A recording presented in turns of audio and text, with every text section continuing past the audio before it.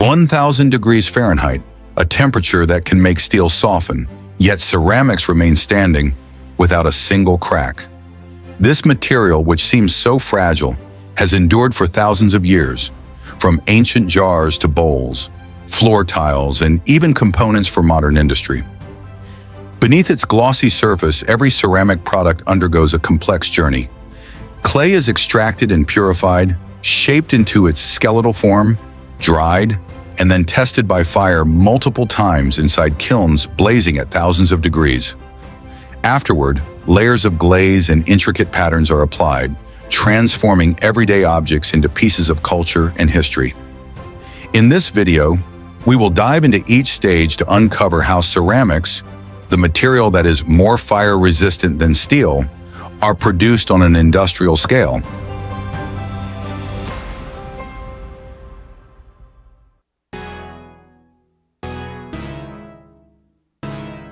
The journey of ceramics begins in natural mineral deposits, where clay, kaolin, feldspar, and quartz are extracted under strict quality control. The topsoil is removed by large excavators and bulldozers, exposing the main mineral layer located about 10 to 30 feet below the surface. Depending on the type of mineral, workers use backhoe excavators, graders, or block cutters to separate each layer. Large chunks of material are then loaded onto dump trucks, weighing several tons and transported to the pre-processing area near the mine. Here, the raw materials are roughly crushed to reduce their size and washed with high-pressure water jets to remove soil, sand, roots, and gravel. Certain minerals such as kaolin or feldspar undergo additional washing in circular filtration tanks to separate the fine fraction and eliminate iron-bearing impurities, which helps increase the whiteness of the final ceramic product. Once cleaned, the materials are air-dried or lightly oven-dried before being shipped to the manufacturing plant. Inside the factory, each mineral is precisely weighed according to the blending formula. All components are then fed into large mixing tanks where they are combined with water to form a smooth clay slurry. For dry press technology, this slurry is spray-dried to create fine powder granules. In extrusion technology, the slurry is filter pressed to form plastic clay blocks with the right moisture content. These clay blocks are transferred to a pug mill or extruder, where they undergo final kneading to remove trapped air and achieve ideal plasticity, ready for the next stage. In the production of clay blocks, ceramic pipes, or refractory materials, extrusion is widely used for its stability and ability to form precise shapes. The moist clay mixture, after thorough kneading, is fed into a screw extruder, where a large rotating screw gradually compresses and pushes the clay toward the die. The pressure is just enough to force the material through a metal mold, shaping it into a long continuous column with a uniform cross-section. The mold can be changed manually to produce different profiles, from rectangular bricks to round tubes or solid shapes. As the clay exits the die, operators visually and manually inspect it to ensure the surface is smooth and free of cracks or shrinkage. The continuous clay column then moves through a clay cutter, where thin steel wires or sharp blades slice across it into equal length billets. The operator must frequently adjust the cutting speed and wire tension, as even small variations can cause uneven edges or distorted shapes. In many factories, workers still fine-tune the conveyor speed and spacing of the cutting wires by hand, because a deviation of just a few fractions of an inch can result in misshapen billets or rough surfaces if the blades stick to the clay. Cutting with a machine ensures consistent dimensions across thousands of pieces, but the process still depends on the craftsman's trained eyes and steady hands to keep every setting precise.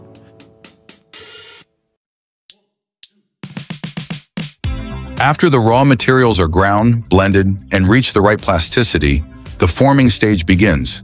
This is where each ceramic product takes on its initial shape. In factories producing household items such as bowls, plates, and dishes, the jiggering technique is the most commonly used. Basically, jiggering combines a rotating plaster mold with a thin, pre-shaped metal blade. As the mold spins steadily on the machine, the operator places a lump of soft clay in the center. The blade then moves smoothly, pressing and trimming around the clay as it rotates, gradually shaping the walls and interior of the piece. The whole process takes only a few dozen seconds, but requires high precision. The rotation speed, blade pressure, and clay moisture must all be carefully adjusted. This method ensures that every bowl or plate has the same thickness and curvature, even in large-scale production. For more complex forms such as vases, teapots, or decorative jars, factories use the slip casting method. Liquid clay, or slip, is poured into plaster molds, where the water gradually seeps through the porous walls, leaving a solid clay layer that thickens over time until it's strong enough to remove from the mold. Alongside industrial production, traditional hand throwing remains part of the process, connecting craftsmanship with modern technology. On a potter's wheel, artisans center the clay using their hands and water, then press, pull, and shape it upward into bowls, vases, or jars. Every curve is adjusted manually, guided by the artisan's touch and experience, a process that keeps the human element alive in the art of ceramics. The freshly shaped ceramic body still contains a lot of water and remains weak, so the drying process is carried out to stabilize its structure. Bowls, plates, vases, and jars are placed on racks and moved into a circulating heat drying chamber, where the temperature ranges from 140 to 250 degrees Fahrenheit. Hot air circulates evenly through a system of fans and humidity sensors, allowing moisture to escape gradually from the outside to the inside in a balanced way. In modern factories, robotic arms pick up the pieces and place them onto continuous drying conveyors, saving time while ensuring that every item in the batch reaches the same level of dryness before moving on to the next stage. The dried ceramic pieces, now structurally stable, are sent directly into the kiln for their first firing, known as the bisque firing. The goal at this stage is not to achieve maximum hardness, but to remove all remaining bound water and organic impurities. As the temperature gradually rises, the mineral particles begin to tighten and fuse slightly, forming a temporary but solid framework that still retains enough porosity for the glaze to adhere firmly later on. In large factories, the bisque pieces are placed on conveyor belts that move continuously through long tunnel kilns, where the heating zones are divided into preheating, soaking, and cooling sections. Some production lines are also equipped with exhaust and ventilation systems to remove smoke and moisture, ensuring that each piece comes out clean and evenly conditioned for the next glazing stage. After the bisque firing, the ceramic body moves to the decoration stage where patterns and colors first come to life. In traditional workshops, bowls and vases are hand-painted using fine brushes and mineral pigments. Artisans carefully paint each line in detail, from floral motifs and calligraphy to landscape scenes, directly onto the unglazed surface. Once finished, these decorations are left to air dry naturally before being coated with a layer of glaze. When production scales up to the industrial level, the decorating process becomes fully automated. Bowls and plates are placed upside down on rotating holders, while robots handle the printing or spraying according to preset programs. Many factories use decal transfer printing machines, where patterns are pre-printed on a thin film and then pressed onto the ceramic surface. On top of the mold is a soft rubber pad coated with ceramic ink containing the design. As the machine lowers the mold, light pressure transfers the pattern evenly across the surface of the piece. This controlled pressure and mild heat allow the print to adhere perfectly, even on curved areas or rims. Afterward, workers manually inspect each piece to ensure the design is aligned and free from wrinkles or excess ink. This printing method can reproduce complex patterns within seconds, far faster than hand painting, while still maintaining the refinement and consistency that define high-quality ceramics. After the decoration is complete, the products move to the glazing stage, a coating process that determines the gloss, smoothness, and water resistance of the ceramic. In many factories, this step still follows the traditional principle, dipping the product into a bath of liquid glaze. Bowls or cups are fixed onto rotating holders and slowly lowered into the glaze tank. The glaze mixture, made from finely ground minerals diluted with water, has a smooth, viscous texture that allows it to coat evenly over the surface. As soon as the ceramic touches the glaze, a thin layer adheres within seconds. The holder then tilts slightly, letting excess glaze drip off, ensuring a uniform thickness across the entire piece. On automated production lines, dozens of items are dipped simultaneously, each monitored by sensors that control immersion time and lifting speed with precision. For larger or more complex shapes, such as porcelain toilets, workers manually operate the dipping equipment, relying on both sight and touch to prevent streaks or trapped air bubbles. Once dipped, the pieces are left to dry in a humidity-controlled room. At this point, the glaze layer remains soft and opaque, but after the next firing, it will melt and vitrify, forming the smooth glass-like surface that gives ceramics their strength, shine, and perfect water resistance. The glazed ceramic pieces are then moved to the final firing stage, where the coating and the clay body fuse into a single solid mass. The temperature at this stage typically reaches 2,200 to 2,500 degrees Fahrenheit, hot enough to melt the glaze and bond it tightly to the ceramic frame. In large-scale factories, the products are neatly arranged on heat-resistant conveyor belts that move continuously through tunnel kilns stretching dozens of meters long. Inside, the kiln is divided into several zones, heating, soaking, and cooling, forming a precisely programmed temperature curve. One distinct feature of these kilns is their arch roof design, which allows heat to circulate evenly, preventing hot spots and reducing warping. Gas burners or electric heating elements are installed along the kiln's length, supported by a forced air circulation system that ensures no cold or overheated areas develop. Throughout the process, infrared sensors and automatic controllers monitor every batch, keeping the temperature within safe margins. As the glaze reaches its vitrification point, the surface transforms, becoming glossy, non-porous, and resistant to abrasion.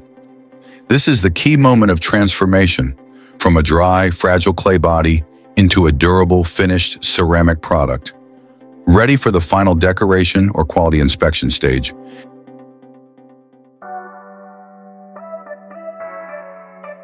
Once the products have cooled and stabilized after firing, they move to the inspection and finishing stage, the final step before leaving the factory. Each bowl, plate, or vase is placed under a high-intensity lighting system, allowing technicians to easily spot even the smallest flaws such as pinholes, glaze drips, or misaligned patterns. In modern factories, thickness inspection is performed using a combination of ultrasonic scanners and laser sensors. As the pieces travel along the conveyor, the ultrasonic probes emit high-frequency sound waves that pass through the ceramic walls and reflect back from the opposite surface. The computer system then calculates the exact wall thickness down to hundredths of an inch. At the same time, laser beams scan the exterior surface, creating a 3D profile that is compared to pre-programmed design data. If any area is found to be too thin, too thick, or slightly warped, a robotic arm automatically removes the defective piece from the line for reprocessing. After inspection, the products are sent to the mechanical finishing area. The rims, bases, and drain holes of sanitary ware are wet ground and polished to remove sharp edges and ensure safety in use. Finally, all approved items are stacked on trays or pallets, ready for packaging and shipment. After passing the final inspection, the products move to the packaging stage, the last step before leaving the factory. Here, both workers and machines work together to ensure every item is perfectly protected. On automated lines, robotic arms place the products onto a protective wrapping conveyor, where machines wrap each piece with a thin layer of foam film or shrink wrap to prevent scratches and absorb minor impacts. The wrapped items are then arranged neatly into multi-layer trays or boxes, each with dividers that keep the products securely in place. However, for smaller, thinner, or more delicate pieces, manual packaging is still essential. Workers wearing soft gloves carefully insert thin paper sheets between items and wrap the edges with foam or craft paper for extra cushioning. Every movement must be precise and gentle to avoid damaging the glaze or rim. Once packed, Each box is sealed, labeled with a traceable barcode, and stacked onto pallets. The pallets are then wrapped in stretch film, tightened with steel straps, and moved by automated forklifts to the container loading area.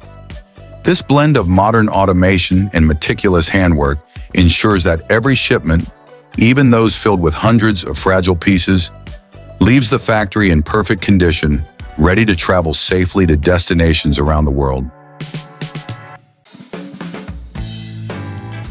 From the raw clay blocks dug from the earth to the gleaming bowls, bricks, and vases in our hands, the journey of ceramics is a true reflection of how tradition and technology come together in harmony. In every piece, we see more than just an object. We see the continuation of history, culture, and human innovation. If you found this journey fascinating and want to keep exploring the hidden secrets behind modern manufacturing, share your thoughts in the comments below. And don't forget to hit the like button and subscribe to The Factoran so you can join us on future journeys.